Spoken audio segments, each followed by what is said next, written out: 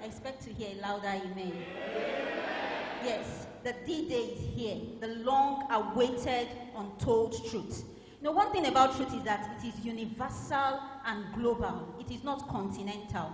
And so we are here to, to listen to God speak to us. And I appeal to each and every one of us to come with an expectant heart. I appeal to each and every one of us to come with a prayer in your heart that the Lord would open our eyes to behold wondrous things out of His words. And my prayer for each and every one of us is that for those of us that have been honestly mistaken, that after this program we will no longer be mistaken and we will stand up for the truth. Amen. We are blessed with a servant of the Lord Almighty, an ordained minister of the gospel, who has been preaching the gospel for over 18 years now. And by God's grace, this humble man of God have held over 115 evangelistic series. Amen. In different parts of the in different countries of the world. And today, he is here to also reveal God's word to us. The truth as it is in Christ Jesus.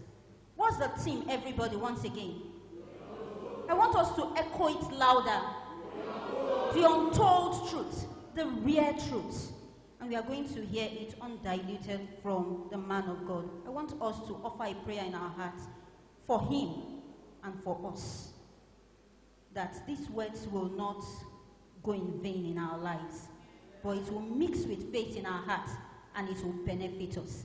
And so, with that in our hearts, Pastor T.K. Godswill Mensah, a minister of the gospel all the way from Accra in Ghana, is here with us and will be with us for two weeks to share this gospel with us. And with that, I want us to rise on our feet as we enthusiastically sing the theme song. The theme song says, His truth is marching on. His truth is marching on. And the next voice you will hear will be that of Pastor TK. God bless us all. Mine eyes have seen the glory of the coming of the Lord. His truth is marching on. Mine eyes have seen the glory of the coming trampling out the grace abroad where the rust has trod. He is led with the lightning of his terrible swift sword. His truth is marching on. Glory, glory, hallelujah.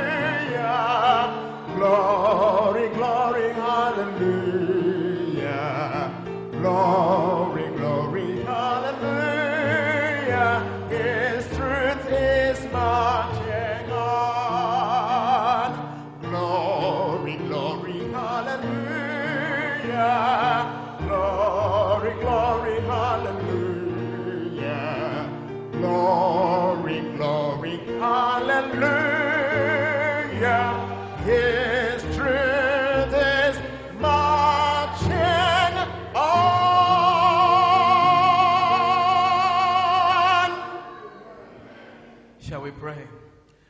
Mighty God, we thank you. We thank you this evening in the name of Jesus Christ. We commit this auditorium to your care. Before we open your word, we ask that you come and be with us. Please take control over this auditorium. Every single one who is here, before they sit down, may they sit on the laps of holy angels. Let there be anointing. Let there be healing. Your word says, anointing break the yoke. I pray this moment, if there is anyone who is sick tonight, by your stripe we are healed. May someone see her healing. If there is someone in bondage tonight, Lord, set the person free. If there is someone under the authority of demonic powers, spirit of Belial, Ashetroth, Asmodion, we ask that you hold that person hostage to your own spirit. Mighty God, tonight, I ask that you give me your word to speak. Not I, but Christ. Be honored, loved, and exalted. Not I, but Christ. Be seen, be known, and be heard. Not I, but Christ. In every look and action, not I, but Christ. In every thought and word, in Jesus' name, amen. Shall we kindly be seated?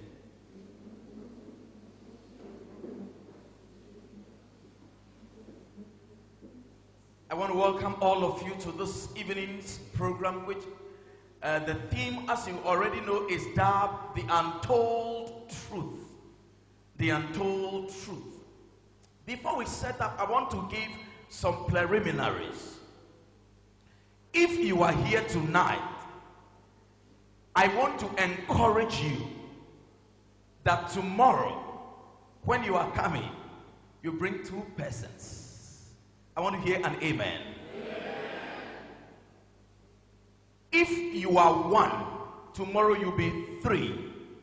If you are ten, tomorrow you'll be thirty. If you are fifty, tomorrow you'll be 150. Each one of us, tomorrow when we are coming, we will bring two persons. If that is clear, somebody say amen. amen. I want to also indicate that for the next 14 days, someone will encounter Jesus in the most natural way. You will feel his presence. I'm speaking to both organizers, that is the Alive group.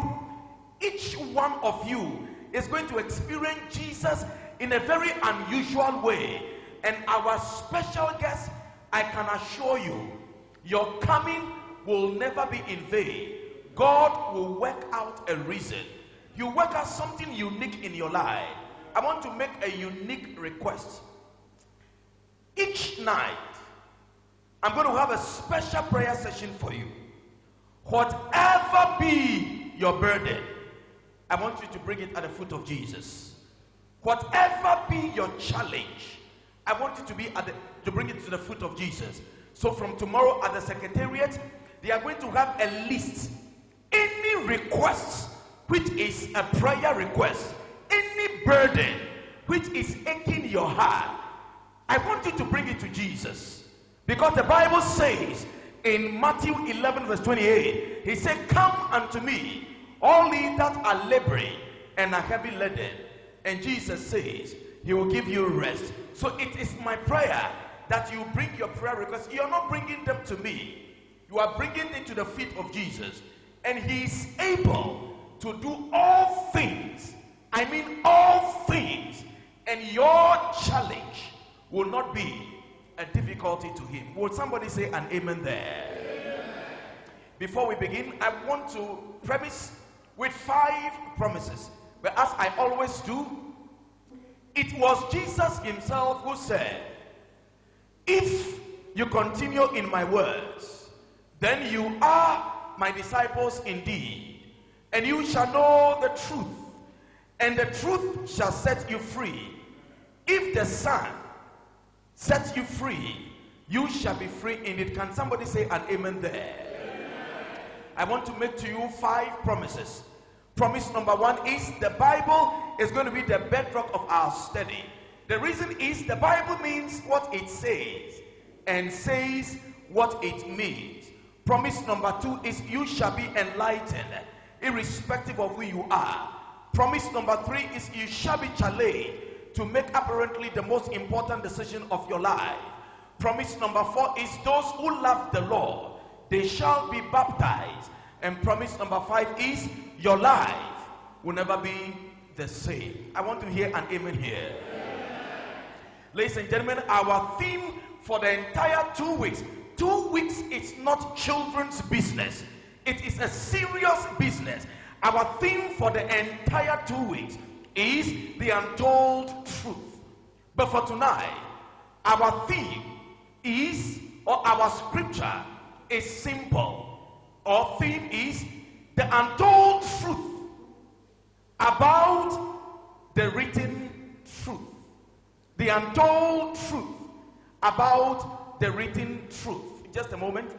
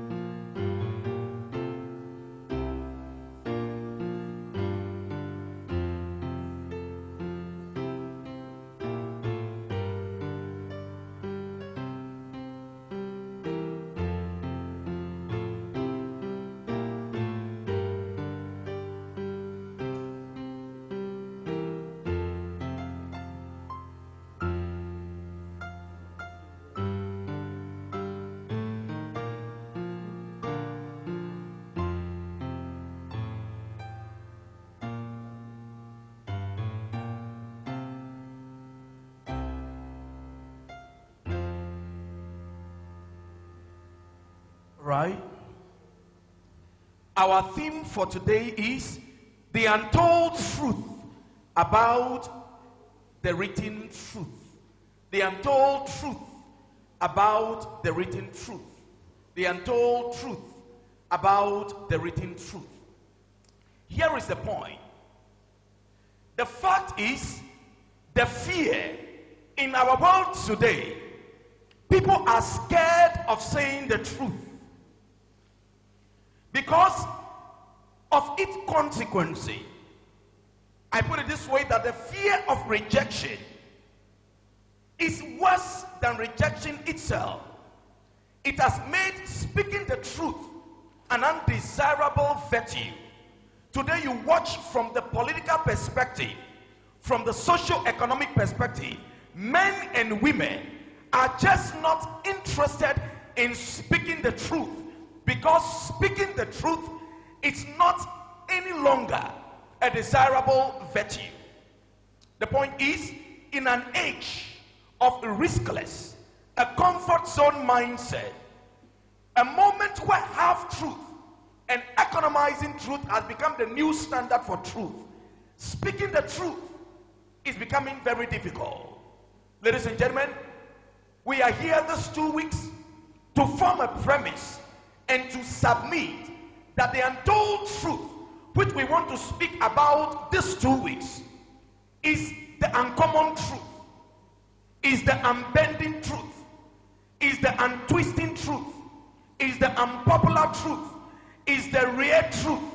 It's in fact it is a truth. If spoken in its entirety, it is seen as divisive or it is very controversial. The untold truth. This kind of truth, it shakes the speakers and the hearers from their ease harbor, thereby daring them to the unthinkable, to the undoable, and to the unspeakable. I'm talking about the untold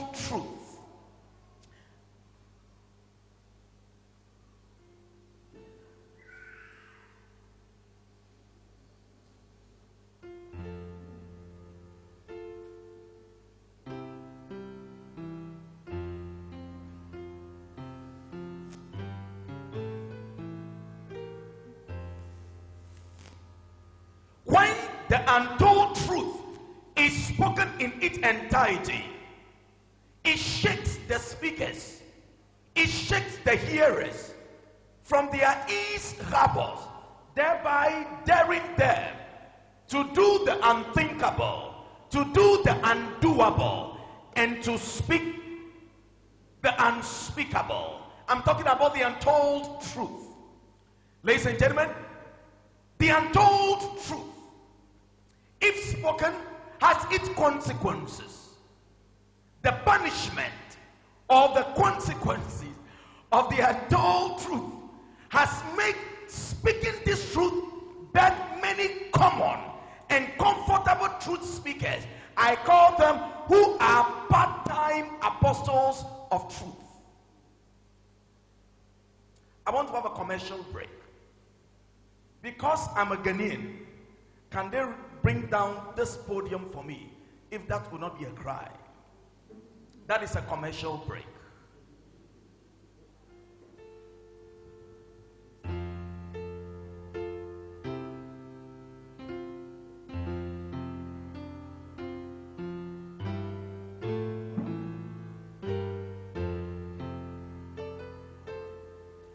Ladies and gentlemen, if you watch Nigeria today,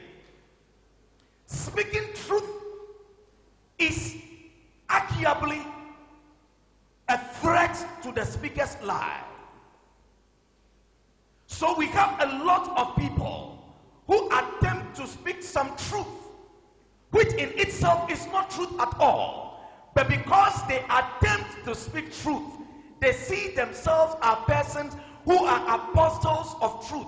But in other words, they are part-time speakers of truth. When truth is spoken and it makes people very comfortable, it makes people rally around, then there is a problem with the truth. The untold truth regards not degree. So, this two weeks, we are going to speak very extensively. Everyone who will be present will, a way or the other, be uncomfortable, irrespective of your degree. The untold truth care less about your degree. The untold truth, it care less about your pedigree. The untold truth care less about your wealth. It care less about your person or your personality. From the words or in the words of George Orwell, in a time of universal deceit, telling the truth has become a revolutionary art. In line of this, this evening, ladies and gentlemen, I present to you a caption, The Untold Truth about the written truth. Again, before we open scripture on its own, shall we bow as we pray? Father, speak to us that we can be spoken to. Hold every heart hostage that your word will be clear. In Jesus' name, amen. Ladies and gentlemen, you see, history is prophecy fulfilled. And prophecy is history in advance. We are going to look at these issues from the spectacle of some prophetic statement that the Bible will be standard of our or the source of our message. History is prophecy fulfilled. And prophecy is history in advance. So the question will be asked what at all is happening to our world that is carrying about 7 billions of passengers, that is hurtling through space at an estimated speed of 65,000 miles per hour? I am here to submit, ladies and gentlemen, this moment that we have come to the frightening moment of the history of this planet, including Nigeria. Deep within everyone's heart, the question is resounding Have we come to the end of civilization? Is this the last generation to exist on earth? How will it all end? Do we sit and wait for the inevitable to happen? Or is there a permanent solution to the crisis facing us? Let's look at our world, including Nigeria, from the social point of view. Immorality is on the rampage. Abortion is on the increase. Men sleep with any woman who allows herself the least. Fathers have sex with their own children. It is said that one priest said, extramarital affair is another form of communication and it is morally right. In an age such as this, we must have the moral high ground to speak about the untold truth. And the source of this truth must certainly be from a prophetic perspective. Revelation. We are going to deal with the book of Revelation from tomorrow. I'm going to put it much in perspective. We will sandwich it with huge biblical evidences, but will be stemming from this area. Revelation chapter 1, verse 3. If you read the Bible, the Bible makes very clear reference. It says, Blessed is he that readeth, and they that hear the words of this prophecy, and keep those things which are written there, for the time is at hand. Just pause a moment. A careful look at this text indicates any man who will be present at this evangelistic meeting for the next 14 days, if you read every Bible verse that will be projected, that will be said, you will receive your blessing. Will you say an amen there? If you come every night and you hear the words of this prophecy, The Bible says you will receive a blessing when you say an amen to that word. The third one, anyone who come here night after night, messages upon messages, if they come from the word of God and you are willing, you are daring, you are desirous to keep them, the Bible says, those who keep them, those who read them, those who hear them, they will receive blessing, threefold blessing. And I pray that each one of us will partake of this blessing throughout these two weeks. Will you say an amen there? Why must you keep the words of this book? Why must you read the words of this book? Why must you therefore hear the words of this book? The Bible says, For the time is at hand. So someone may ask, What time?